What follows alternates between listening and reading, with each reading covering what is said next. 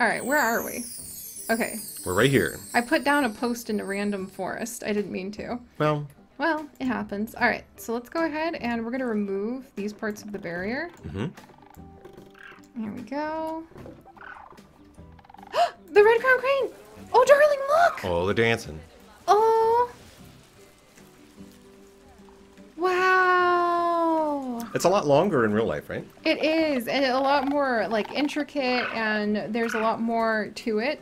Um, and these guys, let's double check because there's actually some great entries when it comes to their behavior for when they breed. They're monogamous and oh, oh my, that's so cute. That's adorable. Oh my gosh, that was really cute. Katsumi. She's not expecting babies. Oh dear. Uh oh. Her fertility is very low, so Yeah, that might it might take a little while. All right, where were we? Uh, they choose their partner in a courtship ritual called a duet, where they perform a synchronous dance. Should we have danced? I just gave you potatoes. Just potatoes works. The potatoes worked. To initiate a duet, a male and female will move towards each other rhythmically until close. They may then hop, spin, or call, spin, skip, bow, jump, beat their wings, move their necks, and strut along. They like do everything. Wow. wow. Um, and beat their wings, move their neck, and strut along in a long mimicked sequence. In a flock, one pair duetting is likely to cause other pairs to join in. So you have like, uh, what do you Mm. call that? Um, flash mob. Yeah, basically flash mob dancing. a pair's dance can occur in different situations and are thought to also play a role in advertising territory, choosing a nest and fending off rivals. Close to breeding season in April and May, the females of a pair will choose a nest site and both cranes will build the nest together, generally on flat ground near tall grass. Oh. Nests tend to be built from sticks and grasses directly on the ground. Once built, the pair is Aggressively likely to- defend. You- well, you know, right? That's probably why people are afraid of large birds. Because would you? Okay, you always say you could take a goose, right? Well, okay, so that's my. Oh, wow, of those, those things. So it's not that I think that I could. Okay, I do think I could. So here's the thing. so if you go on YouTube, which you're on right now, listening to this, watching this, there's a million videos you can find of a person being chased by a goose, and they freak out. Like universally, people when they're chased by a, like a Canadian goose, like screaming and running away. And I'm not saying that those people are wrong for doing it. I've just never happened have it happen to me. And I'm like, what would happen if that happened to me? Would I freak out and run away? Because I feel like I could just pick the goose up. They're not that heavy. They're like 10 pounds, right? right. They're like 6 pounds. And just stick him under your arm like a football. Yeah, just like hold him and just be like, no, bad goose. so I want to know, right? So like I want to have that experience to know how I would respond if a goose is just coming at me. Oh, I think we're well matched, darling. You know what I mean? Yeah, I know what you mean because I too wouldn't mind if like I have to escape an angry bird one day, but I feel like I would be more intimidated by the large cranes. I mean, a large they're, crane- They're like yeah. looking me in the look at that beak. Yeah, the, bi- that, that okay, that beak's different than a Canadian goose. That's true. like a little know- goose, it's not sharp. He's got the little, you know, what is he gonna Yeah. do? Little nibble me? He's gonna stand in front of your car and refuse to move. Right, right. You just pick him up and be like, no, bad goose, and then like continue about your business. But, this beak is different. very different. Yeah. very different. Like it, it, anything where we get into like cranes or like Herons. cassowaries. Remember when we learned how? Well, thank you for that, dear. Uh, remember when we learned how the the blue heron, who is Mm-hmm. like very endemic across all of the United States, more or less, with that long beak, very similar to the crane's beak, uh, actually can kill like bald eagles Yeah. and other large birds because they can stab with that beak. Yeah, That sounds like they could stab me. yeah. Like I'm I'm gonna have a lot of caution. we have apparently we have some crane babies on the way, darling. Well, She's really I like the very contemplative, like I'm thinking about it. she's like, oh man. You know my favorite thing to do whenever I'm like waiting offspring imminent. Okay, that's that's I guess we don't have long to wait. maybe not. Is there an Ooh, egg? Look, let's give her a cherry blossom tree. Oh, that's really cute. Yeah. Like to celebrate the babies being born. We'll put down a couple cherry blossom trees. I like that. Was there an right. egg? No, we... we skipped straight to the egg hatching. Okay, so we've got some mammalian red crown cranes. Yes. Okay, cool. Okay, Very I think. cool. We should charge more for that. Oh! Oh man, that is cute. Oh Oh man, that is cute. That's really cute. So this falls on. The, there's a binary with bird babies They're either absolutely adorable. Oh my gosh. Or they're like Terrifying. alien, like, Like crows. or Gouldian finch babies. Oh, they just look like like aliens. Yeah, like we loved our Gouldian finches so much, but their babies were what I dubbed alien flesh nuggets, and I still have the vlogs and our very, very, very, very old vlogs uh, on here on this channel, where you can see my little alien flesh nuggets. And Gould, like the Gouldian finches had that extra feature of having those glowing fluorescent dots inside their mouth. Mm-hmm. But this guy, oh, he's got the zoomies, darling. He's got the zoomies. Okay, I want you to look at this, right? Okay. Shrink the feet a little bit, the legs a little bit. Uh huh. Squat the neck, a little different thing. That's a kiwi. Don't they kind of look like little kiwis? Like somehow the like Wow. short fur, like the shirt fuzz, and then the like little chicken wing right here. That makes a lot of sense You if see what you I'm saying? if you think about like when kiwis stopped developing the ability to fly. Mm-hmm. I wonder if from an evolutionary perspective, it's not like you you develop wings that can fly and then you evolve them further and make it so they can't fly anymore. You probably just regress. Like when you have fish or other animals that get lost in a cave and they lose their eyes. Mm-hmm. I wonder if because this is a baby bird whose wings aren't like developed, mm-hmm. kiwis kind of have that look because their wings regressed and they just don't fully develop anymore. That's just my guess. One day we'll we'll see one in, in person. They need to add kiwis now. You have awoken. I, I thought I could not be spoiled enough because we have red crown cranes, we have platypus, and we have our boy the capybara. I forgot about Diego. Diego's got to get in here. We're talking about Dora the Explorer. Now we got Diego I know, in here right? too. Okay, so let's get D- these guys in here. Do you think that uh, our red crown cranes and our capybara and our Nile lechwe will all get along Yeah, of course. with our tapir Yeah, and our wild water buffalo? sure. Let's do it. Yeah, what's the worst that'll happen? Why not? Let's do it. We're just gonna add all of them in. I'm sure it's gonna be fine. Uh, also, you know what we should be doing is we're sitting here talking and learning so much about all these animals, but we Uh-huh. have not educated the people Mm-mm. like at all. So we need to go ahead and guest facilities. That's fine. Okay, finance wouldn't be bad. Like, hey guys, I hear you got some money. Uh, but we're going to go ahead and let's find some nice educational things we can put in for people. Oh, what's this? Oh, wow. Is this a mod? No, that's uh, a blueprint I have for a trouble. Oh. Oh wait, what did we just have? Hey, hey. we earned a profit. We're What actually profitable. Cool. And we can put down. Oh, we already have an info stack though. It was that guy who survived the apocalypse. Oh, that's right. That's he's my already, guy. Yeah, he's already running it. So I don't want to put him out of a job. Um, okay, I'm not looking for info center. Okay, give me just a second. It's been a long time. Media and education, darling. That's what it is. Alright, and then let's come in. Aha! Here we go. This'll do. Ah, this is go. all we ever need. Is that facing the right way? Yeah, it is. Yeah. And then we'll put it in. Mm-hmm. And then from now on, we can just like copy this around. Like, Oh, good beautiful. enough, good enough. Because we've got a lot of animals in here now, so let's put down a couple. And then people are going to be like, wow, those animals are so amazing. Take my money. Uh, I'm going to put one over here. Perfect. Perfect. Because I just noticed they have speakers, so we don't want to overlap the speakers. All right, so let's start learning a little bit about the red crown crane. Mm-hmm. And we actually need to have uh, maybe another vet. We can probably afford to hire another vet now.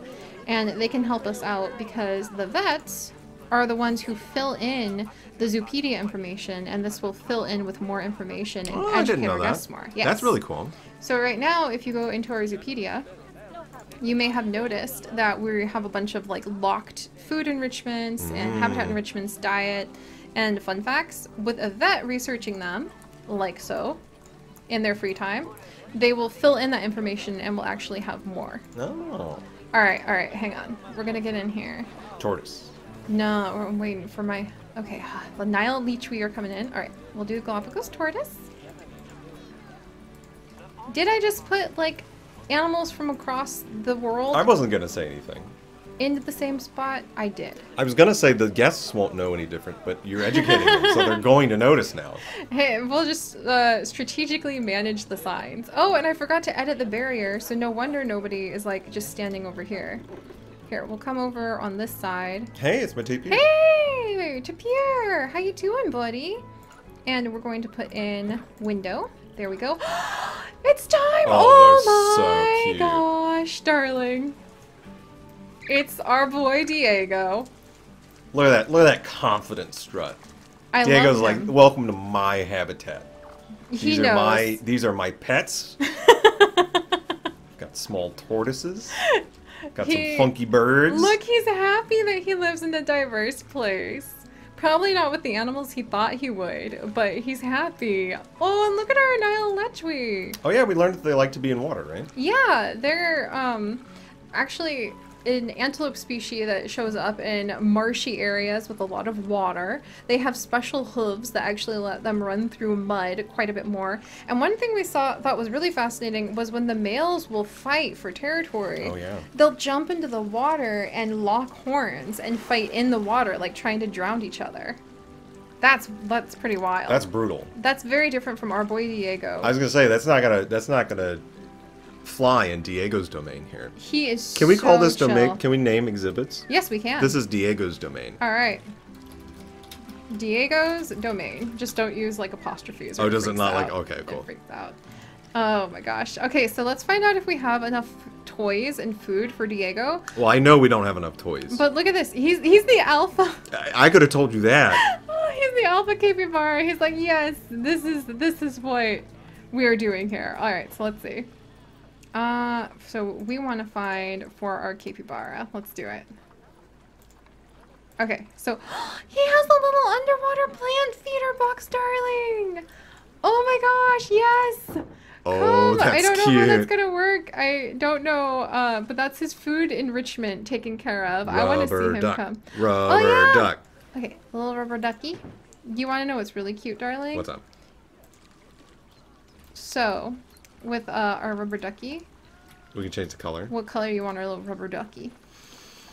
Ah, where'd he go? Oh! Blue's pretty cute. All right, we'll have a little blue rubber ducky. Can we okay, edit anything else about it? uh, the beak as well. Oh. So you were right. Now the guests are saying like, "Wow, this you, place they're, they're is here so to see. Diego. They know about Diego. You're more aggressive with raising the price, and it definitely benefits the animals. I think. Do a little. He's got a big old smile that way. That's pretty cute. Hmm. Yeah, we'll do that. We can change it later. Maybe it'll be like Diego's duck, and then we can sell it in the the toy shop. Oh, yeah, we'll sell some gift. We'll we'll sell some replicas that people can take home. Yeah, so they can be like, "Oh, that's Diego's duck. I want to I want to get that for my kid. Maybe they'll enjoy their bath better." Hot water tap. Oh my gosh, darling. Okay, maybe we can put like here. There's a I love that pond. here, That pond looks awesome. right?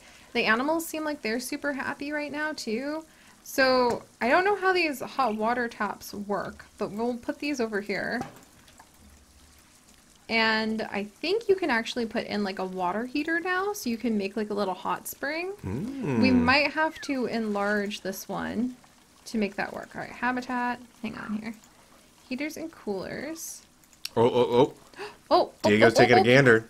Oh, We're sauntering he came over. right over. Yeah, he knows what's up. Hey, buddy. Oh my gosh. Are we gonna get? Are we gonna get some hot water action? Can you sell? Can you make like a gift shop that sells like Diego T-shirts? I wish. Look at our little baby crane back there.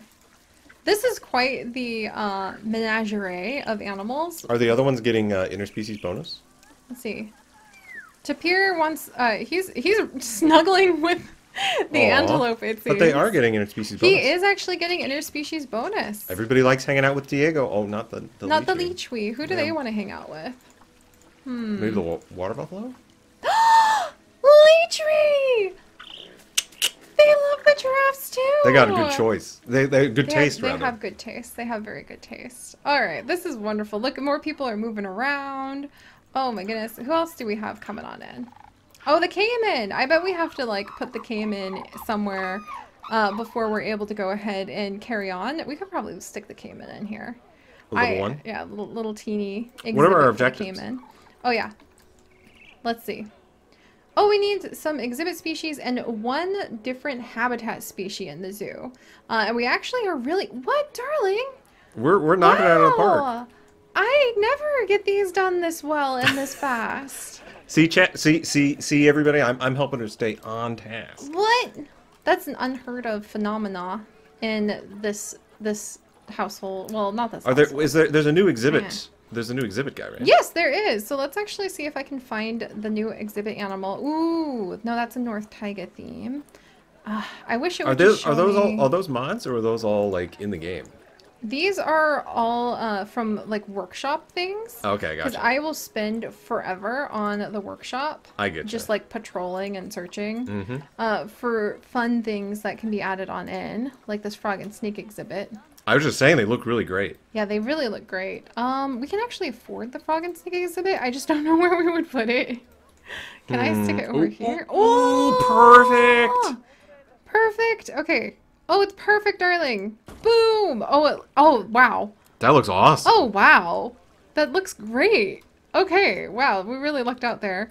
Um, and then we need to find out what exhibit animals we can add in. The Brazilian wandering spider. That would fit. Is that is that the new one in the uh, pack? no, but it is the only one. Oh wait, is that? Oh, that's well, that would be the only that one would that's be the problem. Uh, okay, so the new one is actually a newt, a species of newt. There's Mm-hmm. Titan beetle. Oh, we could put anaconda in here. Oh, that'd be fun.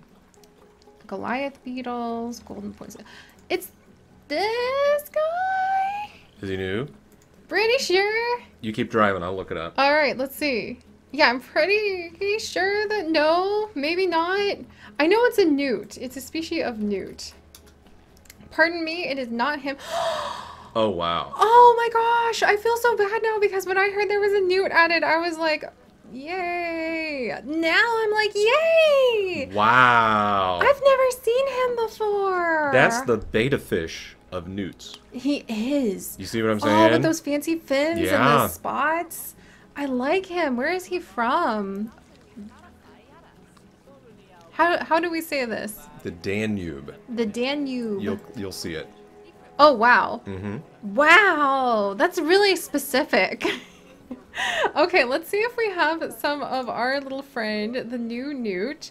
Uh, let's see. That just describes what he. Uh, as with all crested newts, the species express sexual dimorphism, where males have a distinctive spiked crest running down the length of their entire spine during breeding season. The interesting thing is the last. Additionally, they are known to hybridize with other newt species, which can contribute to a decline in pure populations. what? That's wow. interesting. Well, on the one hand, you could consider that like as a threat to your species, but on the other hand, if when you need to, you just go ahead and make babies that adapt because they're hybrids. Right. I feel like in the long run, you're going to come out on top there. Right. He's not worried about species yeah, he's purity. not worried no, about that. No. All right, so we're going to look for the Newt? Oh my gosh. Oh, thank goodness that there's. I've never noticed the search here. If this has been here the whole time, all I can do is just lower my head and and and apologize for how long it's taken me. All right, this newt's a little better. And now we have a male and female newt.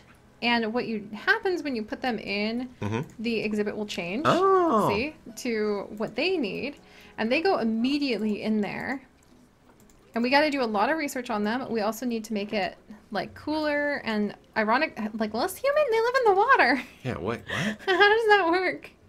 All right, come on. Temperature needs to go down a bit more. Into the 70s. There they go.